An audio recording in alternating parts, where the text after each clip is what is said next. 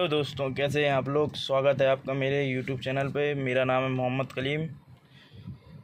तो हाल ही में एन की एक वेबसाइट पर एक आर्टिकल पोस्ट हुआ है, जिसमें 2020 के एक्सीडेंट की रिपोर्ट के बारे में बताया गया है। आपको जानकर बहुत ही हैरानी होगी कि 2020 में लापरवाही के चलते एक लाख बीस हज़ार लोगों ने अपनी जान से हाथ धो बैठे हैं। कोविड नाइन्टीन के लॉकडाउन के बावजूद 2020 में भारत में इतने एक्सीडेंट हुए हैं कि 328 लोगों की जान डेली एक्सीडेंटों की वजह से जा रही है। आज जो एक्सीडेंट के बारे में आपको बता रहा हूँ, वो गुजरात, मध्य प्रदेश हाईवे पर हुआ है, टाटा हैरियर और बलैनो के बीच। टाटा हैरियर में सवार राहुल जी अपनी टाटा हैरियर से गुजरात से मध्य प्रदेश देर रात को जा रहे थे। उनकी गाड़ी की स्पीड काफ़ी हाई थी। वहीं बलेनो में बैठे तीन लोग हाईवे के साइड से लगाकर ड्रिंकिंग कर रहे थे।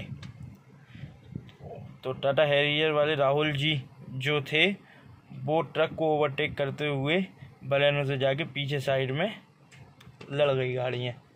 उनने बचाने की बहुत कोशिश करी, लेकिन फिर भी राइट उनका लेफ़्ट साइड बलेनो के बैक राइट साइड से टकरा गया।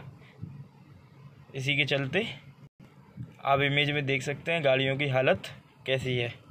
इसमें बात करें टाटा हैरियर की तो टाटा हैरियर की passenger side headlight, fender, bonnet, ये डैमेज है। और वहीं बात करें बलेनो की तो बलेनो का बूट और पूरा बैक साइड टोटली और राइट साइड ख़त्म हो चुका है। और पैसेंजर की बात करें तो टाटिया है, टाटा है। पैसेंजर की बात करें तो टाटा हैरियर में बैठे राहुल जी बिल्कुल सेफ़ बाहर आ चुके हैं, आ गए थे। बलेनो में बैठे तीन लोग मेजर इंजरीज के साथ हॉस्पिटल में भर्ती हैं। इसलिए मैं कहता हूँ slow and safe drive video देखने के लिए आप सबको धन्यवाद।